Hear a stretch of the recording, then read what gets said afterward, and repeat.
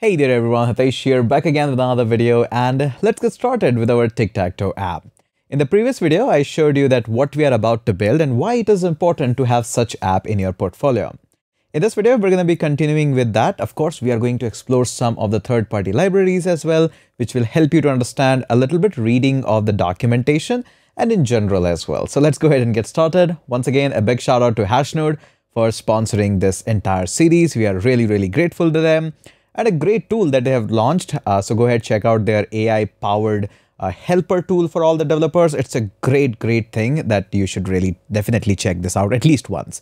Uh, it's really simple. You can visit their website and simply find that. If I'll just show you that uh, pretty quickly, it's you can simply go to Hashnode and here it is, Rix, great name there. And you can check out based on different frameworks, Flutter and all of that. Our React Native is also here. You can ask questions and everything about it. Uh, in this video, uh, I have already created this app, uh, which is 7. It's a boilerplate, just like we have been creating in so far so long. And just waiting for you to see that how this is getting downloaded and installed doesn't make sense since, of course, we are in the app number 7, so we should really save some time. We are going to first get started by installing this new package, which is React Native Vector Icons. This is pretty fantastic, one of the great uh, libraries and packages that we can simply have. So we're going to be using it for the icons of circles and square. You can definitely use X and O's. There is no problem in that. Uh, but I thought let's go ahead and get started. Now, I highly recommend whenever you install such packages, go onto their GitHub page because that is mostly the updated one. Yes, this is a pretty active package, but still I would recommend you to simply go up here. Now, before we go ahead and check out this, also uh, check out on YouTube Tic-Tac-Toe Hitesh or just see Tic-Tac-Toe winning logic for programmers. In this particular video, there is no code involved on the YouTube. The whole idea is that how the logic of uh, winning is being declared and how you can have an array of all the values. And from that array, you can design uh, the winning logic, like all the rows are covered, all the columns are covered, the diagonals are covered. So how you can actually do that, that is mentioned in this video. Go ahead and please check this out. This is a reference video which I make a reference in all the series. So still very active video. Uh, go ahead and check this out. This is really, really important. Coming back, that how we're going to go ahead and install this. This is the GitHub page of that. And again, this is mentioned up directly on the home page. This is where you should be looking at how to install this package. Now, obviously, if you'll scroll this a little bit, you'll find the installation instruction that, hey, you can go ahead and say npm install dash dash save React Native Vector Icons. This is it. This is all what we have to do. Copy this, go back up here, paste it up here, and this should actually install the React Native Vector Icons. We can definitely go ahead and install types of it as well, in case you want to go ahead and work with the TypeScript as well. Uh, right now, we are going just with the React Native Vector Icons. That is more uh, and good enough for us. Now, moving back up here, this is not all about it. We have to make some changes. We'll make those changes. Some I'll just mention so that you can do it. Some I'll walk you through.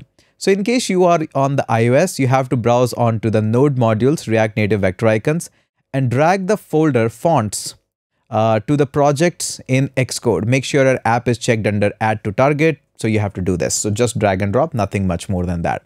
And also you have to edit the info.plist. So all of your apps, if you, it is an iOS app, there is a must have uh, this particular file and it should be just right here uh, info.plist.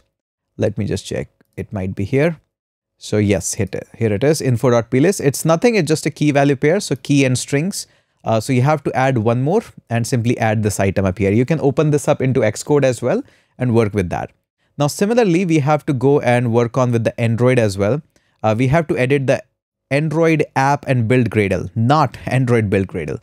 So this is the one and we have to just copy this and apply this. So this is an important part whenever you're installing any third-party libraries, these things are necessary. We have to do it. Let's go back up here. So let's do at least the Android ones. We'll go into Android, make sure you go into app and then look for uh, build.gradle. And here I can close this one and we have to simply apply this. So we'll just go up here, apply section, and we'll just apply our build Gradle as well so that it detects all the fonts. Now we can also customize uh, the things like vector icons and all of that. Uh, we won't be doing this. We don't need it actually because we are not customizing any icons. Optionally, we can also do manual installation and all of that. Of course, we are not using this get image source and something. In case you have a plan of doing so, steps are in front of you. Definitely you have to read a little bit, but this is the way how you can actually go ahead and do this. So that's our installation of another third-party package. It's a pretty popular package in the world of React Native. It provides you a lot of icons and we can go ahead and work with that. Again, it's not a compulsory thing. You can use just O's and X's in the letters. That's all you can do.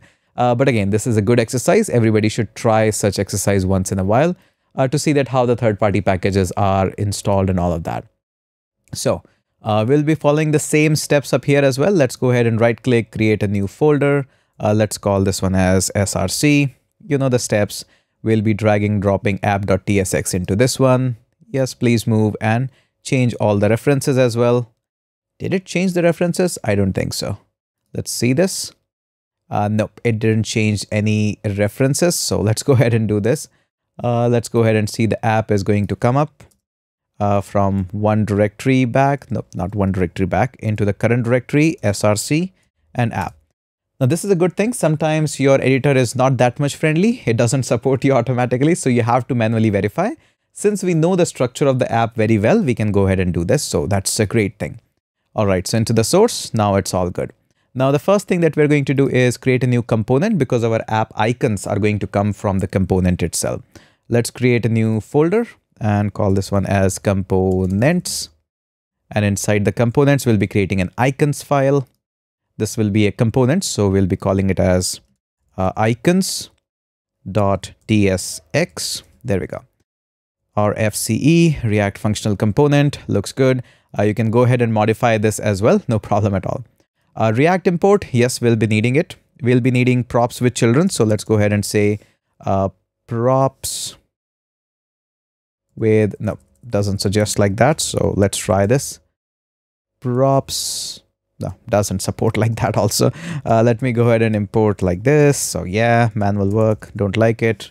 Props with children. Now it supports that. Great. Okay, let's import the icon as well. So we're going to say that I want icon and that icon will be coming up from uh, React Native Vector Icons. This is not an original library. It installs further sub-libraries that you can actually target. Uh, one of them is Font Awesome, Font Awesome 5 Pro. Pro is, of course, Pro, it's paid, uh, but we can just go ahead and work on with this. Uh, this is going to show you a problem because you haven't installed the types of it. Now, if you'll scroll over, hover over it, it says icon is declared, but its value is never read.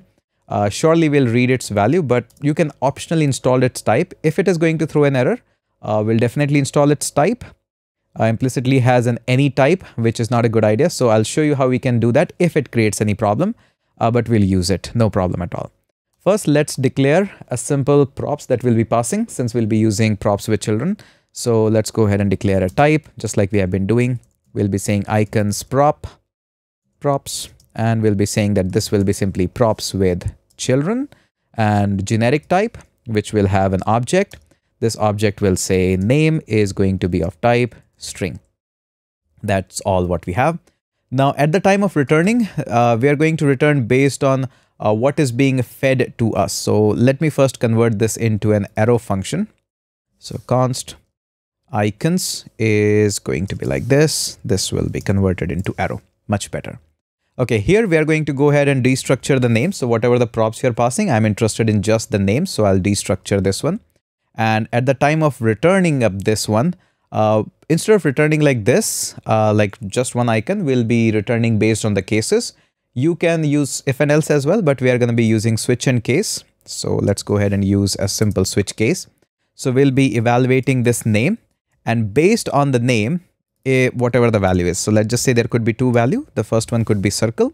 And for this, we'll be returning an icon, of course, a circle icon. So we'll be saying, hey, I want to return an icon and the icon is going to be name just like this and it will be circle. You have to really know the font icon awesome name. You can refer to their website or I'll just mention a few of them. So no need to worry on that part. All right. So we are returning icon with a name. We have to provide a size as well. And that size will be, we have already evaluated that. So it's going to be 38. Feel free to just test it out uh, on your own. And I have a color on my notes as well. So feel free to use your own color in case you want to. Otherwise, classic black or classic white is always good idea. Uh, so this is what we have and uh, we are using this. So save this. And again, this is still showing us a problem that I couldn't find the declaration file for the module. So either we have to go for the declaration on our own, or I can show you some of the types that you can install. Let me show you the command for that. Uh, go ahead and uh, open up your terminal and just paste this command. And all we have to do is npm install and then add the rate types React Native vector icons. I'll show you this as well. Let's go ahead and install this. Super easy. Now, uh, let's go ahead and save this. Probably we need to reload the window. Yep, now it's happy. Uh, let me show you this. When you'll open this up and hover onto this one, you'll find this defined types. So there are a lot of types in the React Native since this now supports uh, this React Native things with the TypeScript. You can see the TypeScript supports files and all of them. So there's a lot of types that are mentioned here. Uh, so we have just installed this support package for this. And you can see font awesome, feather, evil icons. There's a lot of them. Uh, it doesn't do too much. It just is a couple of lines, just like we learned in the previous that how we can import the modules. Uh, but this is a safer way of doing the things, especially with this particular package. So now that you know about it. Okay, going back. And of course, you have to reload the windows. Otherwise, it will keep on yelling at you on these things. This yelling, this is okay. This is totally okay. Uh, so we are just evaluating. This is evaluating that uh, explicit has any type, which is okay as of now. We will definitely go with that. Uh, so this is copied and we can simply say that, hey, uh, you will be of type this. Now it should be happy. All right. So we have gone through with one case. Let's go with another case as well. I'll just go ahead and copy paste this. Another case that we have a circle is covered. So the next one is going to be cross, tic-tac-toe. Only two options are there. And instead of the circle thing, we will be uh, using the times. Not like that. Let's select this again. This will be times. And of course, we'll be choosing a different color for it. I do have the color code in my notes. There we go. So now the colors are there and the circle, if it is detected, this color and icon. If the cross is detected, this color and icon. All right. Uh, we don't need this break. Uh, this is unnecessary here, but let's just say. And in case of the default, if nothing is passed, because that's a default case when the game is being reset or something, then we're going to simply copy this line and instead of the break, we'll be just pasting it. This time we'll be returning an icon of pencil. Again, feel free to choose anything else. I do have a color choice as well, uh, which is really simple. But feel free to choose any other color that you have. Color references, I always keep them in notes before starting the lecture. I don't want to keep on hunting for the colors. All right, so default icons and everything is exported properly. We have learned about two new things. The first is React Native vector icons, which is the font awesome. Also, we have learned about this new type safety as well, that we can actually install the types so that it removes the any. You can actually explicitly declare any. I mentioned that in the TypeScript series, but that's not a good idea. So this is the part one of how we can install the font awesome icons into this. Now, in the next video, we'll be working through with how we can have the snack bars and a couple of other things as well. Uh, we'll be using snack bar as well. Uh, that is super simple to use, but we will also be working through with the winning logic. I expect that you have worked on with this. Uh, in the next video, I'll be just directly importing the winning logic because it's too much of the work to simply uh, write this much of the arrays comparing them, but I'll still walk you through that how this is being done. So that all we are going to do in the next video. Make sure you watch the video, play along with it, learn something from this one, and share your experience on Hashnode. That's all we are asking for. Let's go ahead and catch up in the next video.